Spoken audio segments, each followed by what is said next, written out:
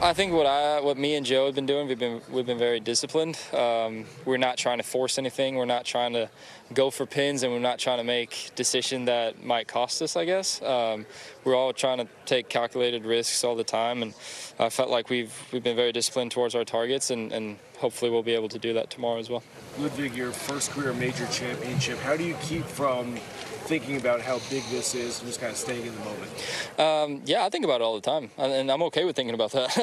I uh, obviously I'm a competitor and I want to win tournaments, and um, obviously I'm, i feel very fortunate to be in this position and to be here playing golf. And um, but yes, I don't think you should shy away from it. I don't think you should try to push it away. Um, I try to embrace it, and I try to be okay with all that comes with it. I guess. Um, have you thought about uh, how to approach tomorrow and the unique kind of scoring setup where we don't have kind of traditional, you know, knowing what's happening mm-hmm. Uh, yeah, I mean, obviously, keep an eye on the leaderboard and see where we're at, and. Um, but yeah, I mean, obviously, you can't really play Augusta in a different way, even though you have to. I think you're never trying to force anything. You always try to put yourself in the right positions um, and, and, try to make the putts. But obviously, I think that's what we're going to try to do tomorrow, even if we're tied for the lead or two back or four back, I guess.